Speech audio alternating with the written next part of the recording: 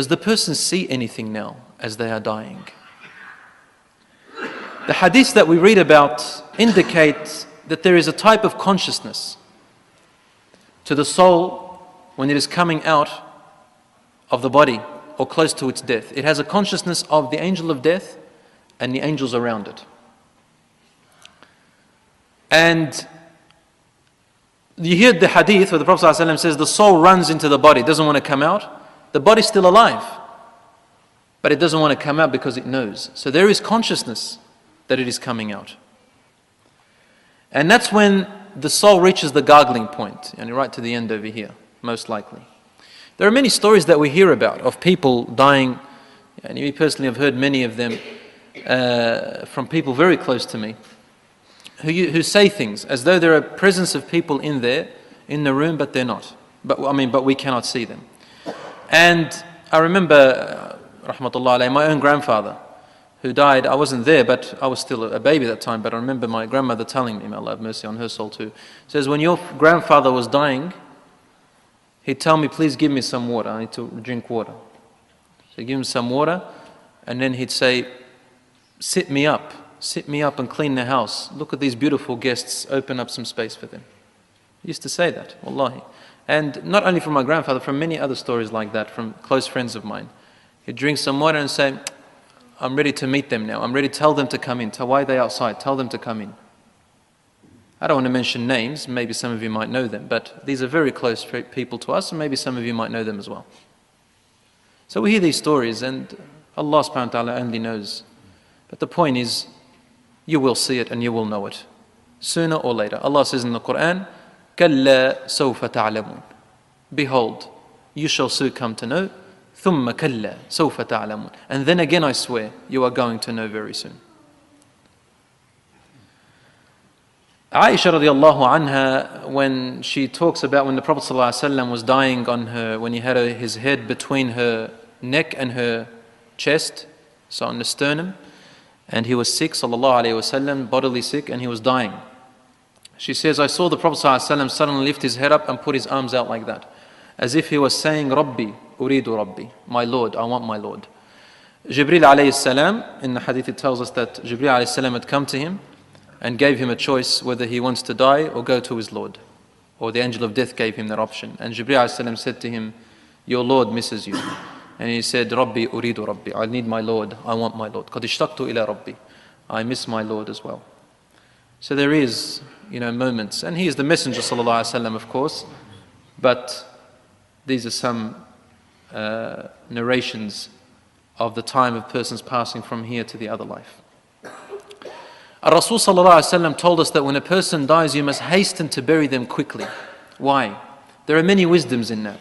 The hadith of Prophet ﷺ says, Hurry in burying your dead, for if it is a good soul, then rush it to its luxuries and to its na'im and rewards. Why are you detaining it? Take it so you can enjoy it very quickly. The soul will be waiting.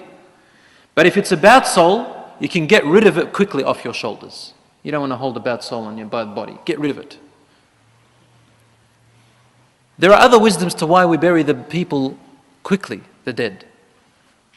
One of them, subhanAllah, it has this special effect on the family. It eases their pain. Ask any family who've had some people passed away. So long as they're still in the morgue or with the coroner or at the masjid, they, they feel uh, the job hasn't been completed. And as soon as they bury them and they cry a little bit and they go home, khalas, the peace starts coming back slowly. And the memory you forget a little bit afterwards and the pain goes away slowly. As soon as it's buried. Abadan. I have been to you dozens, dozens and dozens of janazas.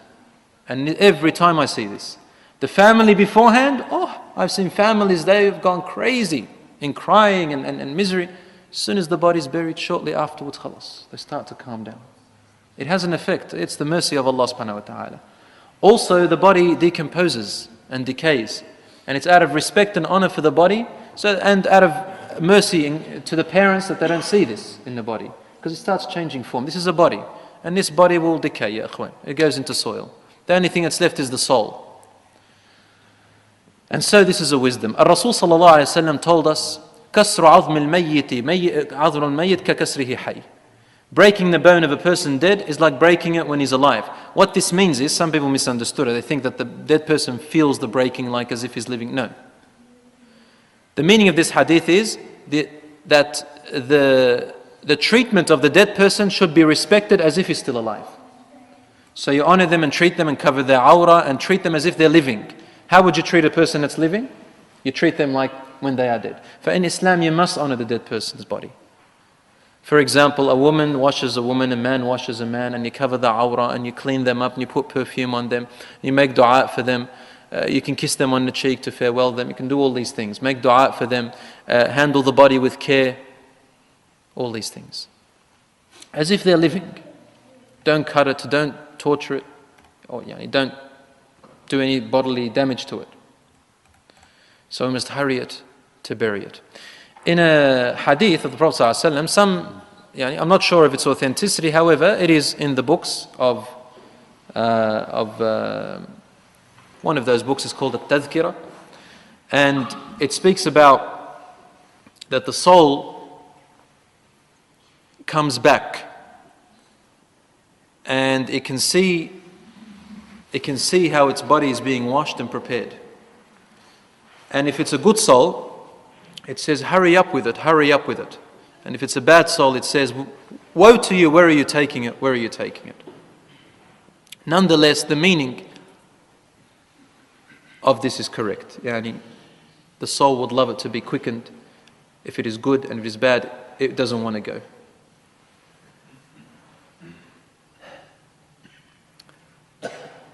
Now, this is the body that we have. And there is a soul. Allah told us in the Quran, وَيَسَأَلُونَكَ عَنِ الرُّوحِ قُلِ الرُّوحُ مِنْ أَمْرِ رَبِّي They ask you about the soul, you don't know much about it. Say it is a matter that's only known by my Lord. وَمَا أُتِيتُ مِنْ الْعِلْمِ إِلَّا قَلِيلًا I've only given very little amounts of knowledge. Rasul said, it is being told to him.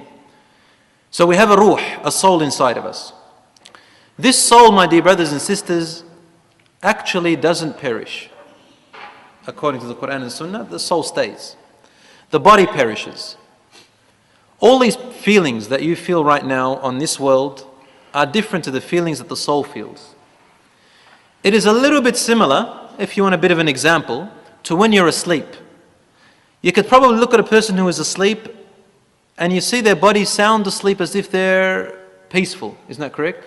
But sometimes you may have a nightmare and you're struggling, and there are people who feel pain during the night and think it's real. And then suddenly they wake up and they're breathing heavily. They say, Why didn't you, you know, stop me? Why didn't you come and help me? If someone's there, you say, Well, you were sleeping peacefully. And they don't see what you're going through. And sometimes you be in a total bliss and beauty in your dreams. And on the outside, you can't see it. It's just the body sleeping. Similar to that, but on, a, on more of a real scale, reality. This is how it ha- what happens when you're actually dead. The body, khalas, it's dead. You look at it, it's dead. It's decaying, it goes into soil. There's no more existence to it. But what actually goes into that next life is the soul. And the soul is returned to the grave. In a world that you and I cannot see or witness. Just similar to how when your body is there but, and your soul is there, but you're asleep and it's somewhere else, but it's still there. That's why you're still alive. And it goes into a world called Al Barzakh. If you open up a grave, you won't see this. But what this occurrence, all these things that are happening, they are happening in the world called Al Barzakh. And Al Barzakh is mentioned in the Quran. But before I explain it, the literal definition of the word Barzakh is a barrier. A barrier. Allah says in the Quran, for example, in Surah Al-Rahman, بينهما برزخ لا يبغيان when he talks about two oceans one is salty one is sweet between them there is a barrier they will not transgress they don't pass so a barrier cuts off between this side and that side you can't go over to the other side islamically al-barzakh is the existence of a unique and different reality a world of a different and unique reality between this world and between the day of judgment. It's not the day of judgment and it's not this world. It's a world in between there where the soul survives there. The soul is there temporarily.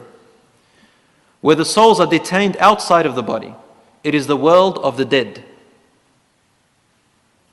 There are many hadiths about it, such as this hadith. Rasulullah tells us when a person dies, if it's a believer, the soul goes and meets, yes, it meets and speaks to the believing souls that have died of the past. So you get to meet family who have died, but the good ones. And they all rush to that soul, just like when a person's come from a journey from overseas. Everyone comes and asks, How's my family? How's my this? How's that? And tell us about. So they rush to it to ask about their family and their brothers and sisters and their loved ones. But what they're asking about is not how their wealth is or how their state is in health. They ask them about their state of deen. Are they praying? Are they religious? And if they give an affirmative answer, they get happy because they know that they're going to come and see them. They're going to come to the good side. But if they say to them that they're not, they get upset and sad.